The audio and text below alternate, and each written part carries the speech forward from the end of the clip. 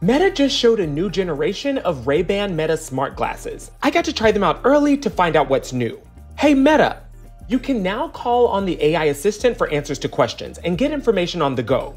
You know, let's say you're grilling with your family and you want to know how long you need to be cooking that chicken for.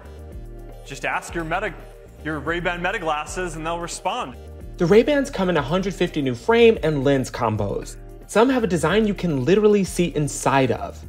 You can live stream from your glasses, so your followers on social media can pretty much see exactly what you see hands free.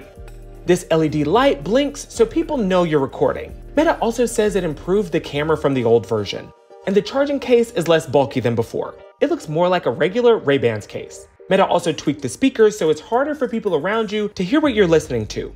The glasses cost $299.